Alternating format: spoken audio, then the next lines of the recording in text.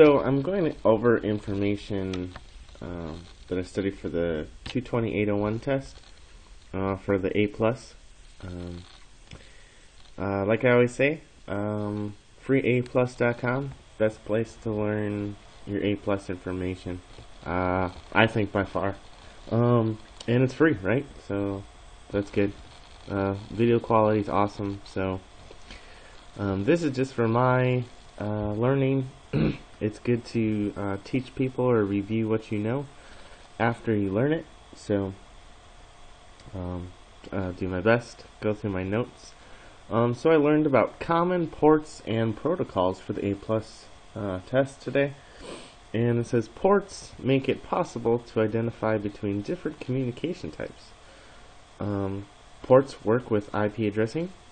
Um, a company called IANA, uh, they created standards and so has assigned specific ports for uh, particular protocols.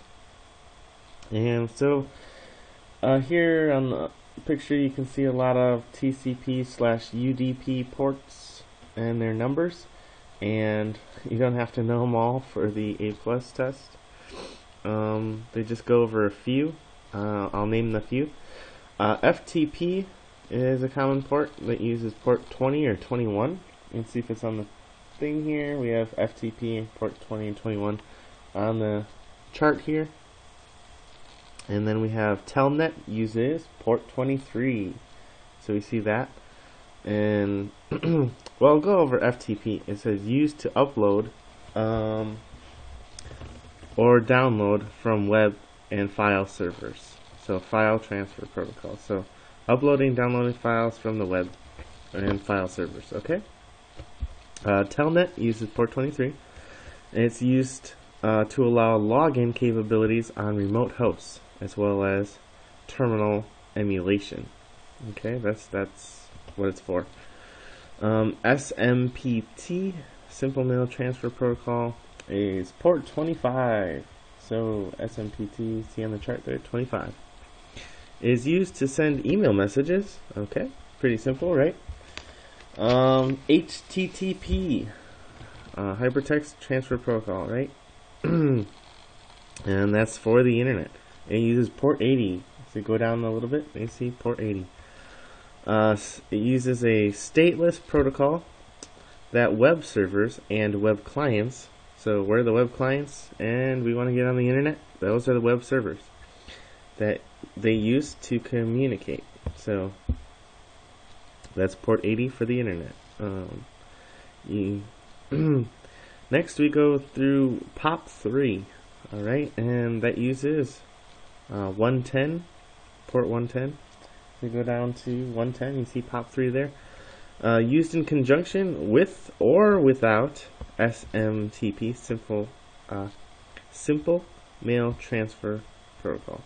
So to receive email from a server. Um, so there's POP3 and then there's IMAP, which IMAP is a, uh, we use IMAP 4 today.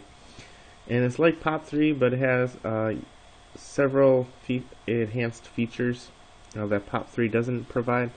So you could choose between POP3 email or IMAP email. And POP3 uses uh, port 110 and IMAP uses 143. So we go down to 143 and you see IMAP 4.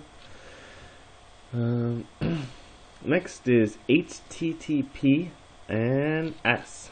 so HTTPS uses port 443. So we go down a little bit, 443 HTTP over SSL.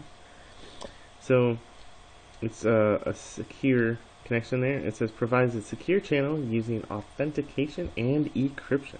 So that's really good, right? Um, DNS, domain name server, uses port 53. So we got a port 53 there. You see the DNS. And that's responsible for translating domain names into IP addresses. DNS can transport either TCP port or UDP or UDP port. Uh, TCP used for zone transfers when exceeding 512 megabytes. So that's for DNS. uh, RDP, Remote Desktop Protocol, uh, uses port 3389. And so we go down, you see 3389. Um, here says terminal server 3389. Um, so it's our uh, remote desktop terminal there. So remote desktop protocol using 3389 uh, that was in, uh, made by Microsoft, providing graphical interface to another computer. So you can see when you connect to that remote desktop, you can connect to another computer and uh, be able to have the ability to um, see what they see on their screen. Uh, UDP is connectionless and TCP is connection oriented, meaning it is it verifies communication. So we'll go over that in, uh, in this other chart here. Uh, TCP is reliable because um, it makes sure you are connected. UDP just sends out the file and it doesn't even check to see if it got received or not. So TCP does. Um, TCP is connection oriented. Uh, UDP is connectionless. Segment uh, retransmission and flow control through windowing, no windowing, or retransmission like TCP, if there's error sent in the packets or there's packets missing, it will resend until it gets it correct.